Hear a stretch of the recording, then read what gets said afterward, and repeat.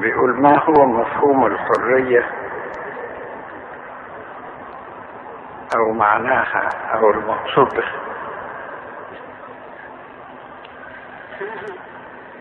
الإنسان حر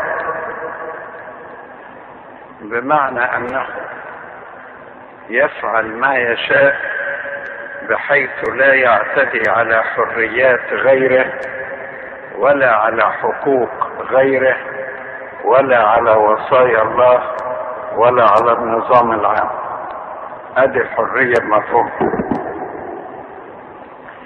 أما إن زادت على هذا فجايز تبقى شيء من التسيب وليس من الحرية.